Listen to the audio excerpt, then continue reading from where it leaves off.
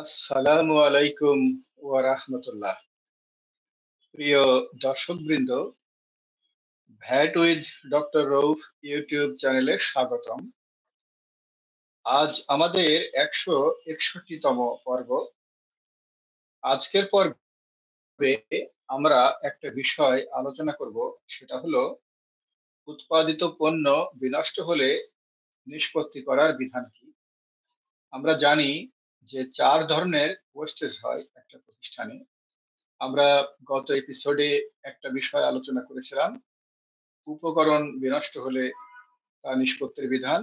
আজ আলোচনা করব পণ্য বিনষ্ট হলে তা নিষ্পত্তির বিধান।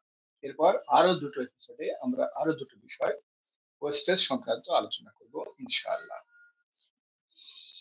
জনমনে ভ্যাট সচেতনতা সৃষ্টির কার্যক্রমের ধারাবাহিকতায় আজ আমরা আলোচনা করব কোন প্রতিষ্ঠানের উৎপাদিত পণ্য কোনো কারণে বিনষ্ট হলে তা কি পদ্ধতিতে নিষ্পত্তি করতে হবে ইনশা আল্লাহ ভ্যাট বিধিমালার বিধি চব্বিশ খতে এ সংক্রান্ত বিধান বর্ণিত হয়েছে।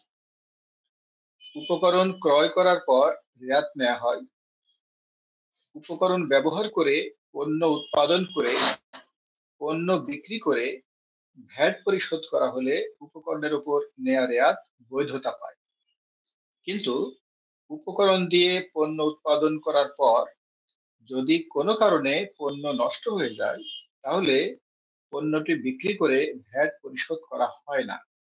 তখন দুটো প্রশ্ন আসে।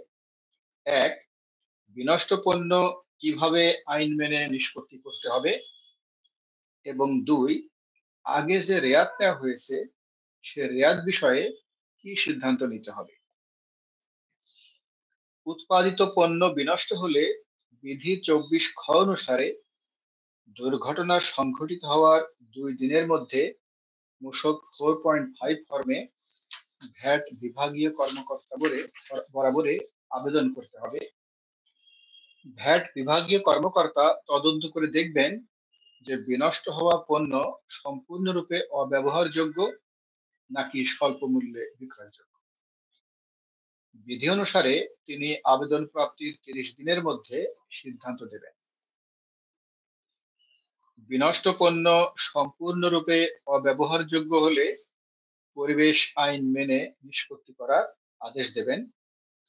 আর যদি এই বিনষ্ট পণ্যের অন্য কোনো ব্যবহার থাকে, অর্থাৎ তা যদি স্বল্প মূল্যে বিক্রয়যোগ্য হয় তাহলে তার এই পণ্যের মূল্য নির্ধারণ করে দেবেন। নির্ধারিত মূল্যে বিক্রি করে বিক্রয় মূল্যের উপরে ভ্যাট পরিশোধ করতে হবে। সম্পূর্ণ ধ্বংসযোগ্য হলে ধ্বংস করার পর পূর্বে গৃহীত রেয়াত দাখিলপত্রে বৃদ্ধিকারী সমন্বয় করতে হবে। অর্থাৎ সরকারকে রেয়াত ফেরত দিয়ে দিতে হবে। আর স্বল্প মূল্যে বিক্রি করা হলে পার্থক্য পরিমাণ ভ্যাট দাখিলপত্রে বৃদ্ধিকারী সমন্বয় করতে হবে। ধরুন, এই পণ্য উৎপাদনে যে উপকরণ ব্যবহার করা হয়েছে, সে উপকরণের ওপর আগে রেয়াত হয়েছিল এক লক্ষ টাকা। এখন বিনষ্ট পণ্য বিক্রি করে ভ্যাট দেওয়া হলো পঞ্চাশ হাজার টাকা। তাহলে অবশিষ্ট পঞ্চাশ হাজার টাকা দাখিলপত্রে বৃদ্ধিকারী সমন্বয় করতে হবে। আর যদি সম্পূর্ণ ধ্বংসযোগ্য হয়, তাহলে সম্পূর্ণ এক লক্ষ টাকায় দাখিলপত্রে বৃদ্ধিকারী সমন্বয় করতে হবে। তো প্রিয় দর্শকবৃন্দ, উৎপাদিত পণ্য যদি কোনো কারণে নষ্ট হয়ে যায়, বিক্রি করার আগে যদি নষ্ট হয়ে যায়, তাহলে ভ্যাট সংক্রান্ত বিধান কি সেগুলো আমরা আলোচনা করলাম। আমরা প্রতিটি এপিসোডে ভ্যাটের এক একটা বিষয় আলোচনা করি। আশা করি আমাদের আলোচনা আপনারা উপকৃত হচ্ছেন। ভ্যাট সংক্রান্ত আপডেট রেগুলার পেতে দয়া করে আমাদের এই চ্যানেলটি সাবস্ক্রাইব করুন। সাবস্ক্রাইব করতে বেল আইকনে ক্লিক করুন। ভ্যাট সংক্রান্ত ট্রেনিং এর জন্য দয়া করে যোগাযোগ করুন। Zero one three two three one five five two nine zero. VAT সংক্রান্ত ট্রেনিং এর জন্য দয়া করে যোগাযোগ করুন। Zero one three two three one five five two nine zero. প্রিয় দর্শক আজকের মতো এখানেই শেষ করলাম। খুদা হাফেজ আসসালামু আলাইকুম ওয়া রাহমাতুল্লাহ